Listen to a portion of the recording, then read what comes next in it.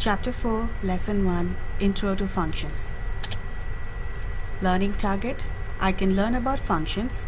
I can use functions to control movements in Alice animation. Let's watch a bunny animation.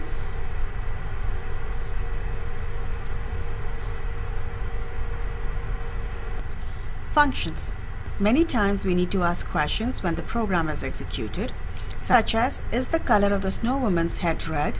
Now this question is about the color property. What is the distance between bunny and the hedge to make the bunny go to the hedge? This question is about moving a certain distance. What is the height of the hedge? This is again question about moving a certain distance. What is the width of the hedge? Again this is the question about moving a certain distance. Now these are the questions and a function is used to ask a question to check for a value and then compute a value.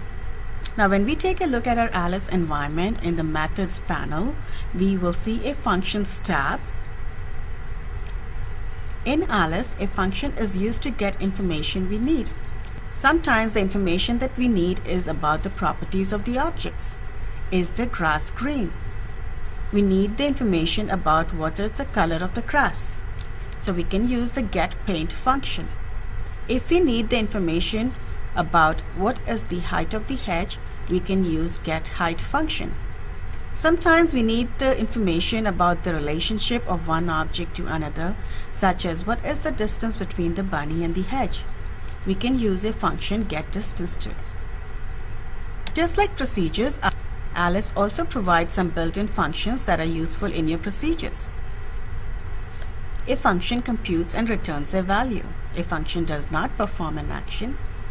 Functions also allows you to check certain conditions within the Alice world while an animation is running, such as you want to check if the bunny is colliding with the hedge. We talk about functions, it always returns a value of a specific data type. Paint and opacity are the properties of an object so it would return a property value. Get width, get height, get depth will return a decimal number. Get width could be 2.5, get height could be 4.1, get depth could be 9.2. Boolean value, it's either true or false. Sometimes in our animation we want to check if a collision is happening or not or the bunny is colliding with the hedge or not, we can use is colliding function. That will return true or false. And the last data type is of string type. Get string from the user. Many times you want to ask the user what's your name and the user will type their name so overall, when we talk about functions, a function will return a specific data type. The four types of data are property values, decimal number, boolean value, and a string value. Calling a function. We will use getDistanceTo function to determine the distance between the bunny and the hedge. So we'll go to our functions tab. We would drag getDistanceTo function and drop it in place of this one value. Now remember a function is always used with a procedure. You always have to call a function in your statement. That means your function will be embedded in your procedure. Now say for example if I want to use a function get distance to to determine the distance between the bunny and the hedge I'm going to drag and drop get distance to from my functions tab and put it in place of 1. So in our statement bunny move forward 1 meter we replaced 1 with a function because we're not going to do the math for the bunny to move to the hedge we're just going to let the function get the information for us. So after I'm done my instruction uh, would look like bunny move forward this bunny get distance to the hedge. Calling a function embedded within the statement. A call to a function is embedded within a statement. The return value, distance value returned by the function is used as the value for the distance in the move statement. When we use this function get distance to, the return value, the distance value that's returned by this function is used as the value for the distance in the move statement. So this function will get us a number, decimal number, and we're going to use that number in our move statement.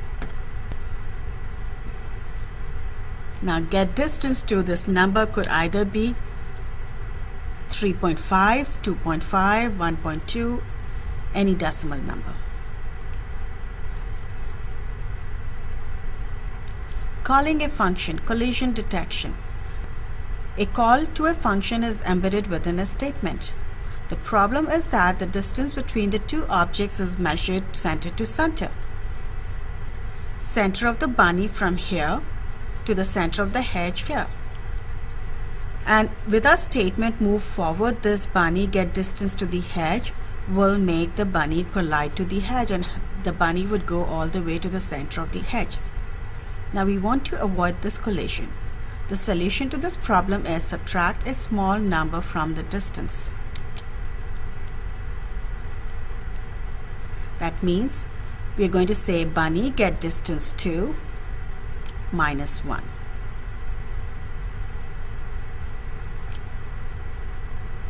Arithmetic expressions. Traditional math and formula computations are implemented as arithmetic expressions in a computer program. An arithmetic expression is a combination of operators and operands. It evaluates to a numeric value. Arithmetic operators are symbols that can easily be typed on a keyboard.